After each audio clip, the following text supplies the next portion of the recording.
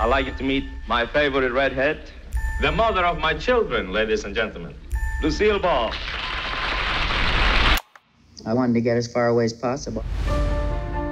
My parents had these audio tapes. Hello, hello. Hi there. He said, That's Lucille Ball. And I said, Oh man, that's a hunk of woman.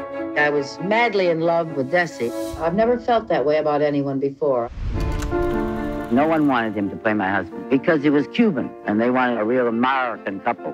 The only reason I Love Lucy exists is because they wanted to be together. A Cubita Bella. Uh, L'chaim.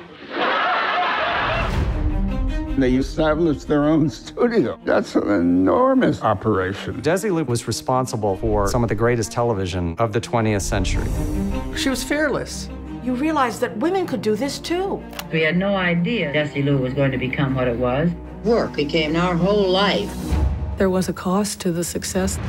Communist infiltration in Hollywood. A lot of witch hunting at the time. His work was harder. If I worked, I worked too much. If I drank, I drank too much. I couldn't live that way. She didn't want to play. After all, there's no business like show business. You may quote me. You see, when we worked, we were happy. I Love Lucy built every episode around that idea of fracture and coming back together. And I think we crave that as humans. No matter what you've done, I forgive you. You don't necessarily have to be a funny person to get a laugh. I'm not a funny person.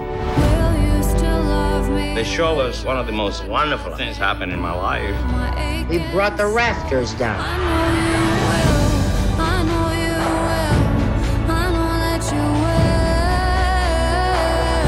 At the core, it's all about unconditional love.